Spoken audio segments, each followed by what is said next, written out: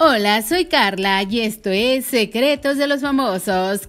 Cristian Nodal avergüenza a Gerald MX en pleno concierto y lo critican. El ex prometido de Belinda, Cristian Nodal, fue criticado por usuarios en redes sociales luego de que se viralizara un video en donde comparte el escenario con Gera durante un concierto en el auditorio Telmex en Guadalajara. Pero lo que llamó la atención fue la reacción del cantante de regional mexicano cuando el rapero se le acerca por detrás, mientras interpretaban uno de sus mayores éxitos con Botella tras Botella en una presentación de su forajido tour, en donde tuvo como otra de sus invitadas a Cani García, Jera, abrazó con un gesto cariñoso al novio de la cantante argentina Kazu, quien aunque se quedó cantando unos segundos, después pareció estar incómodo. El ex prometido de Belinda hace unos meses grabó botella tras botella junto al rapero Jera.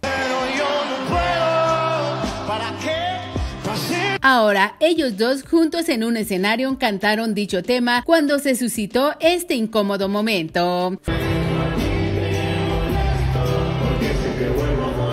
Fue a través de redes sociales en donde se dio a conocer este feo desplante del exnovio de Belinda, de acuerdo con lo mostrado en el clip que ya se ha compartido en redes sociales y se ha hecho viral con múltiples comentarios negativos hacia Nodal. En un inicio todo parecía ir normal.